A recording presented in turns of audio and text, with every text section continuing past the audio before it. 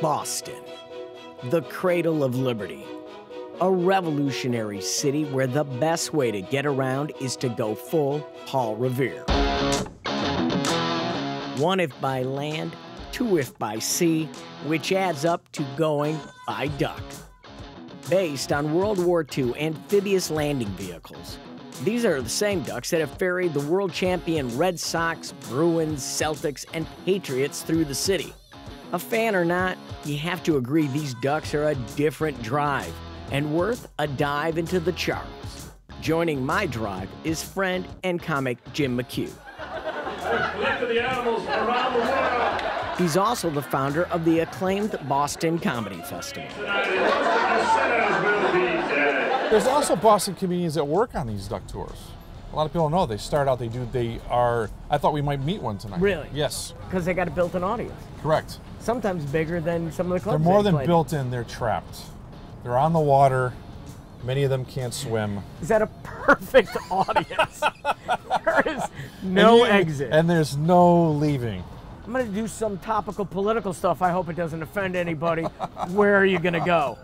Let me tell you a little bit about my ex-girlfriend. Leading our tour is our conductor, Professor Quackenstein. This is a land tour and a river tour. Yeah.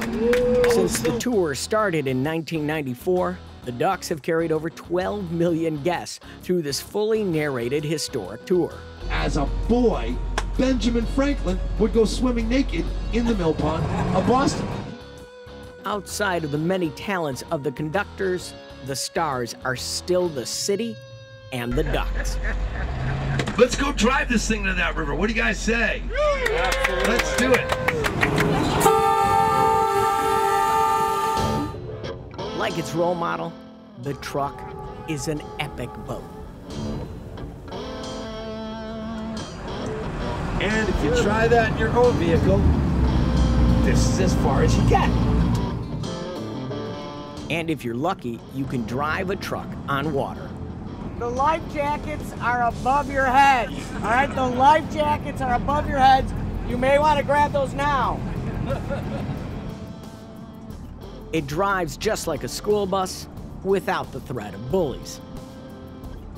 When do, when do I get to do donuts? When do you get to? Tom just asked when we get to do donuts. Uh, just so you know, Tom, we can beat any other boat in a world in the world in a race with the duck boat, providing that race is on the land.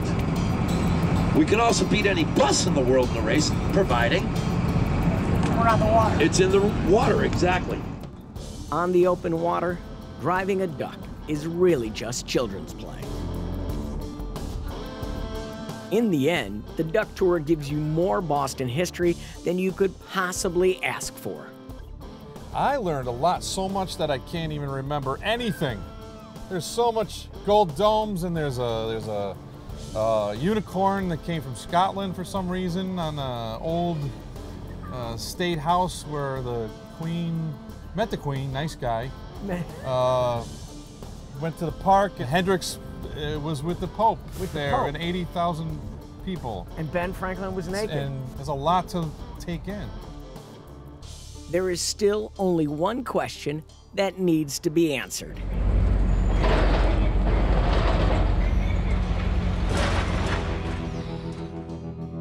And for that, we head to the garage in Dorchester, where all 28 ducks nest.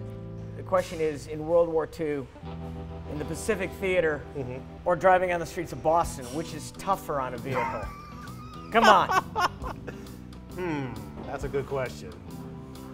Tony Cerulli has been with Boston Duck Tours almost since the beginning, and he knows what makes the ducks run and float. What kind of vehicle is a duck? I mean, is it a boat? Is it a car? Is it a truck? It's all those things and more. Uh, original World War II ducks were a, cha- uh, a hull built on top of an existing truck chassis. And then through the years, people have modified them to put seats on them, use them for tourism. So our ducks are a uh, M35 military chassis that was stripped down, sandblasted, you know, bolstered up here and there, modified for a diesel engine.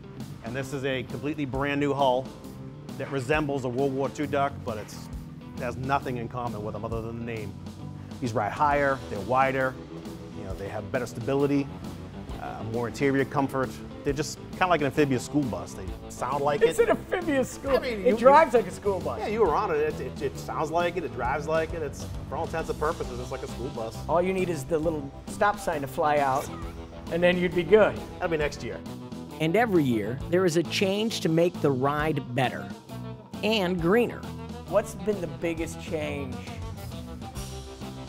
in the duck tours and in the vehicles? Mean, the diesels were a huge change for us, going from gas engine to diesel.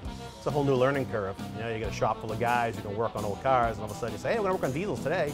It's like, uh-oh. And what kind of engine does this thing? Uh, Ford 7.3 diesel with Allison transmission.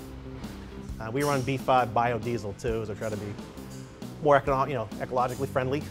And we have a uh, soot filter in the exhaust system that traps soot. So you, you look at these vehicles and you wouldn't think that you guys are doing things that are green, but you are. It's a lot greener than it used to be. I mean, like these floor drains, every one of these goes to an oil water separator. It was built in the building when we had it put together. So we have solar panels on the roof, they generate a ton of electricity.